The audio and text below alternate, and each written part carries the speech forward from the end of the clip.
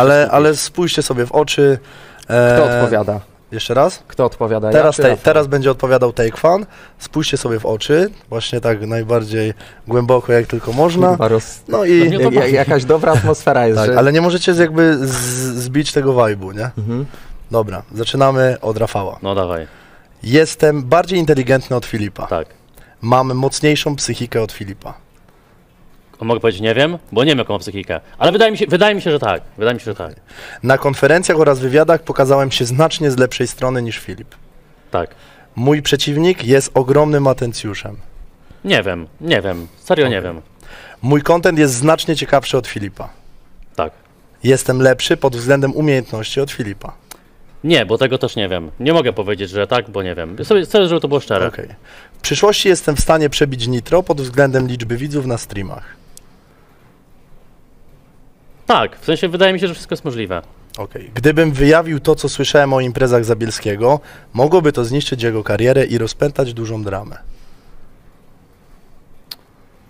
Nie chciałem się na ten temat wypowiadać. Okej. Nie spodziewałem się tak dużego wzrostu popularności po pierwszej walce w Fame. Tak. Content Zabielskiego jest nudny.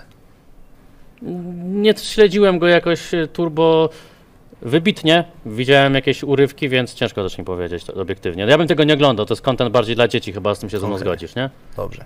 Teraz ty, Filip. Nie trafia to do mnie. Jestem bardziej inteligentny od Takefana. Tak, Mam mocniejszą psychikę od Takefana. tak, Na konferencjach oraz wywiadach pokazałem się znacznie lepszej strony niż Takefan. tak, Mój przeciwnik jest ogromnym atencjuszem. nie, Mój content jest znacznie ciekawszy od Takefana. tak, Jestem lepszy pod względem umiejętności od Takefana. Tak, Denerwuje mnie, Zapachanie fa- było.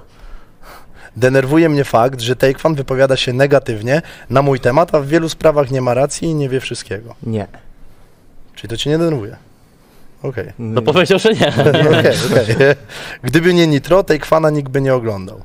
Nie wiem. Gdyby nie wypowiedzi Adriana Polaka, to afera budowlana rozeszłaby się po kościach. Tak. W aferze budowlanej winowajcą był Adrian Polak. O, grube.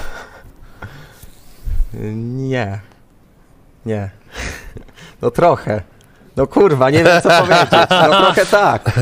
Dobrze. No trochę mamy, tak. Mamy fajny wstęp. Ale wydaje mi się, Ja że... przecież go kryłem cały czas. Ja mówiłem, że nie, nie wiem kto tam był, że coś tam, a on tam był, ja chciałem mu pomóc. A wyszło tak, że ja jestem jakiś zły i że coś tam złego robiłem, no. Widzowie mogą być nieukontentowani tym, że czasami mówiliśmy nie wiem, ale uważam, że nie na każde pytanie da się odpowiedzieć tak lub nie. No. Są pytania bardziej złożone, ale wydaje mi się, myślałem, że będzie pierdolił głupoty, a myślę, że mówił to, co serio myśli. W sensie był szczery sam ze sobą, tak uważam. Okej. No, byłem szczery, tak Okej. zupełnie szczerze. To No. fajnie, mi się Męczy mnie życie społeczne i kłamstwa Wszyscy mają na twarzach Kryją